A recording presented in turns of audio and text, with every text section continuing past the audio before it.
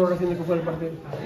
Bueno, creo que hicimos una primera parte para mí espectacular. Eh, dominamos, tuvimos el balón, ellos solo nos hacían daño cuando nos equivocábamos, metíamos el balón dentro y, y ahí pues nos transitaban.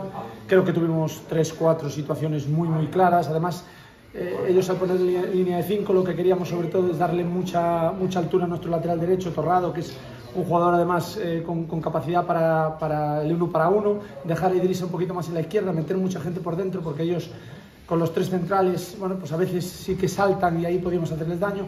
Lo interpretamos muy, muy bien la, primera parte, tuvimos, ya te digo, tres, cuatro situaciones eh, buenas, eh, simplemente las transiciones que nos podían hacer un poquito de daño y nada más. La segunda parte seguimos teniendo el control, sí que es verdad que hubo ahí 10-15 minutos eh, bueno, con situaciones a balón parado, faltas, que ellos nos metieron un poquito más atrás, nos metieron el gol eh, y cambiamos otra vez, pusimos línea de tres, pusimos eh, gente muy, muy profunda para intentar darle la vuelta al partido, eh, conseguimos el 1-1, sí que es verdad que ellos a continuación tienen una jugada que nos saca Bryce, pero luego tenemos nosotros una muy clara de, de Torrado y luego metemos el 2-1, para mí muy, muy, muy justo, más que justo, muy merecido porque porque creo que lo, que lo merecimos, ya no solo en este partido, sino en los seis que llevamos, yo creo que el, que el fútbol hoy nos, nos ha dado lo que, lo que nos merecíamos. Bueno, como sabe gañar no minuto 93, Robert, tendo en conta que, por exemplo, o día do Valladolid tiveche esa sorte en contra en ese minuto. Sí, pues eh, hombre, eh, la alegría es muy, es muy grande. Sí que es verdad que el día del Laredo también el 86 87 nos meten el 2-1, luego nos meten el 3-1 también en el 90 y pico, con el Valladolid como, como comentas tú. Bueno, habíamos tenido seis jornadas eh, muy raras, muy extrañas, donde creo que habíamos merecido muchísimo más por, por juego, por ocasiones, se nos iban por detalles. Y, hoy creo que hemos vuelto a hacer un, gran partido. Es que la primera parte fue muy buena, dominamos, metimos a un equipo como el Compostela muy replegado, simplemente nos hacían daño cuando perdíamos algún balón por dentro. Creo que hicimos muy buen partido en líneas generales, supimos sufrir también en, en momentos determinados. Quizás la, la pega es la jugada de ese balón parado, que creo que no la definimos bien pero estoy muy contento, muy contento, sobre todo por los chicos, ¿eh? porque se lo merecen para ganar confianza, para, para ir creciendo, porque ellos eh, bueno, veían que lo estaban haciendo bien, pero claro, el no ganar pues siempre te puede generar un poco de dudas, ¿no? Ellos han creído hasta el final, sobre todo nuestra, nuestra idea, nuestra forma de jugar, y estoy muy contento por ellos. Bueno, a nivel psicológico que supón esa espita aberta a la primeira victoria e tamén si que coidas que estas jornadas o equipo está a gañar experiencia na categoría.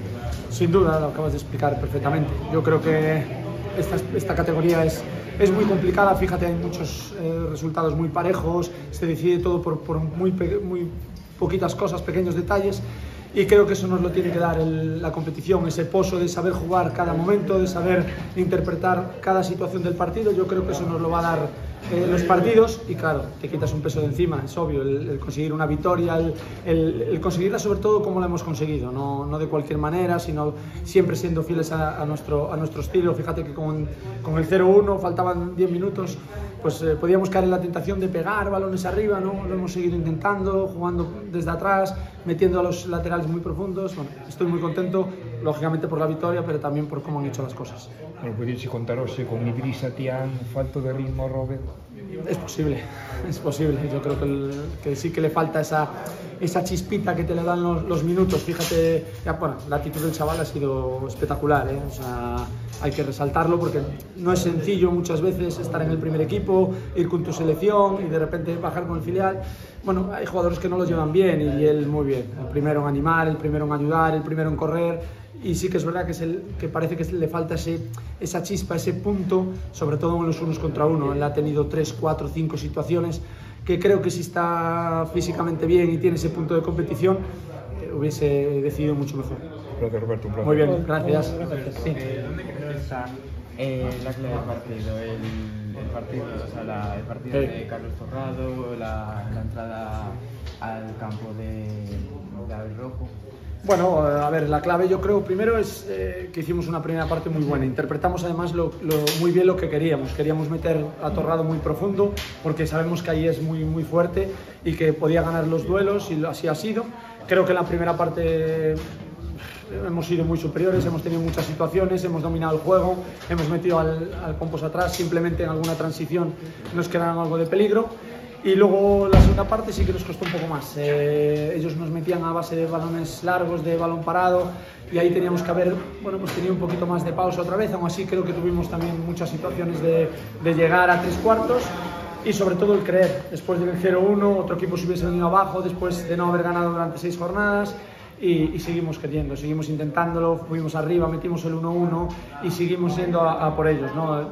A mí lo que más me, me, me, gustó sobre todo es que otro equipo con 1-1 hubiese amarrado, se hubiese quedado y si vemos la jugada de Torrado, va Torrado y van cinco compañeros más a meter gol. Para mí eso es, es clave, la ambición de, de, querer ganar el partido. Entonces, bueno, muy contento sobre todo por ellos.